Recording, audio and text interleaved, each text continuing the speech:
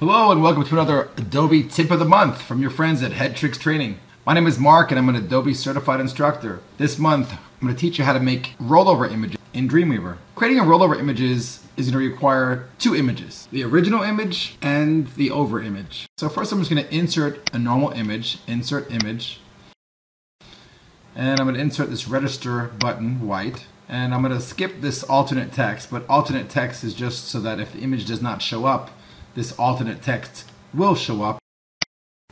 I'm going to click next to it and again insert an image. This time there's my over button. So you can see I have two different buttons here, one for the up state and one for the over state when the user rolls over the button. And here's how you create a rollover image. Under the insert bar, choose insert, image objects, rollover image. And this little dialog box will come up.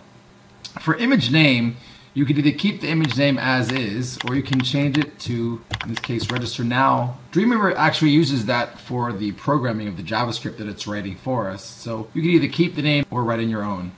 And then once again, now I'm going to select my original image, which would in this case be the register now white. Press OK.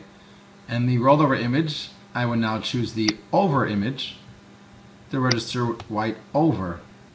And for the alternate text, I could put register now. Again, that alternate text is for the handicapped or people that cannot see, but they have screen readers that read the text back to them. So if they can't see the image, at least they'll have the word and they'll know what that button is. And then I can browse to where this should be linking to. And I'll click on register.php, press OK, and I'll press OK here.